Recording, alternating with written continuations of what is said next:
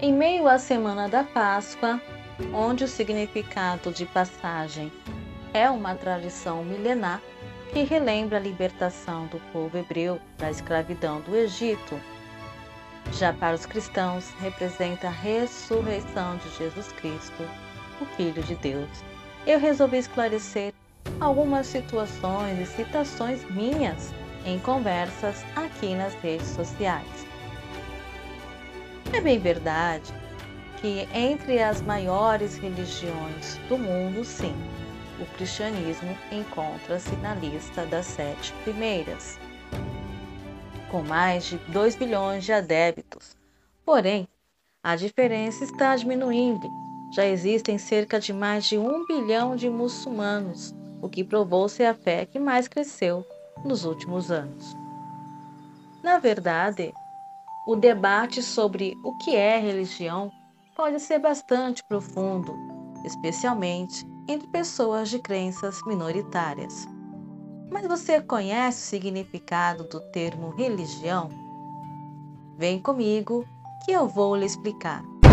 Religião vem da palavra latina religio.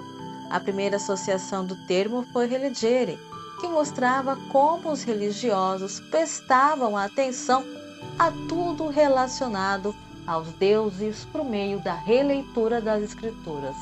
Séculos depois, o termo latino foi reunido com o significado de união, criando a ideia de religião como um elo entre o homem e os deuses, o sagrado.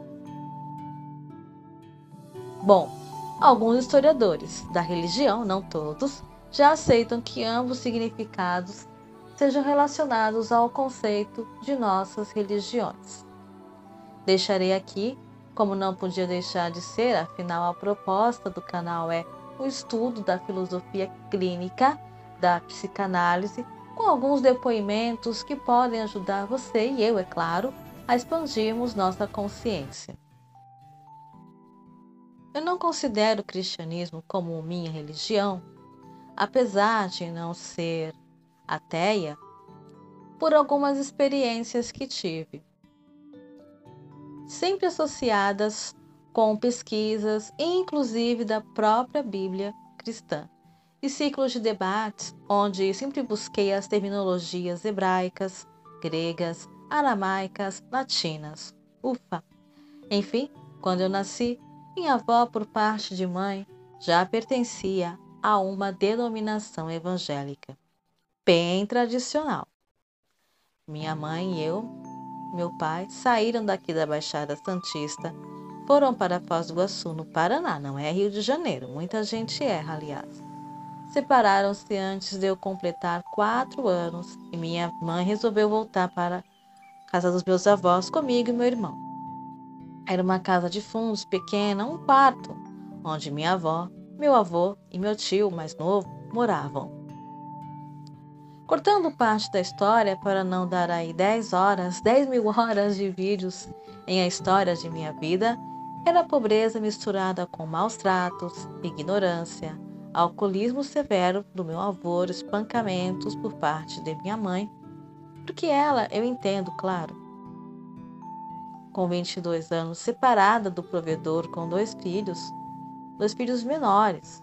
Meu irmão deveria ter dois anos, dois anos e meio, ela era uma mulher estressada e nitidamente não estava preparada para a maternidade, e isso é uma das minhas críticas a essa cultura baseada em moralismo social, onde as mulheres se sentem obrigadas a serem mães. Porém, amores e amoras do meu coração, nem toda mulher é ou está propícia ao arquétipo mãe. Entendam. Mas voltando, minha mãe começou a trabalhar fora em casas de família. Ela não tinha profissão e o que restava era faxina normal, até que ela refez sua vida. Foi estudar tardiamente, aprendeu outra profissão e seguiu mas havia muitas brigas em casa, uma criança assistindo inoperantemente agressões verbais, ameaças, xingamentos, comida e pratos no chão, a questão da higiene. eu tenho muita, muita, muita constrição de crianças, principalmente até os seis anos, que é a fase da assimilação cognitiva. Tudo que ela observa guarda como verdade, daí surge a tão conhecida crença militante. Hoje a religião é vista como um conjunto de crenças, filosofias e doutrinas que orientam a espiritualidade das pessoas e também orientam os pensamentos e ações de todos. No meu caso, além da minha avó, existiam outras pessoas da minha família que também faziam parte dessa denominação religiosa. E eu só via desastre, eu só via brigas, confusão, eu só via, principalmente na área da família, casamento, filhos, eu só via brigas. Mas a minha avó, como as outras cristãs, iam para a igreja numa distância longa, de 30, 40 minutos, dependendo de como você anda a pé, de chinelo, com penitência mesmo. Então, era muito envolvimento cristão para poucos resultados. Eu cresci num ambiente familiar totalmente destruído, permeado com a religião, no caso o cristianismo, e não via grandes melhoras, pelo contrário. Essa foi minha história, espero que vocês tenham entendido. Falar de religião sempre é polêmico, sempre causa polêmica, na verdade.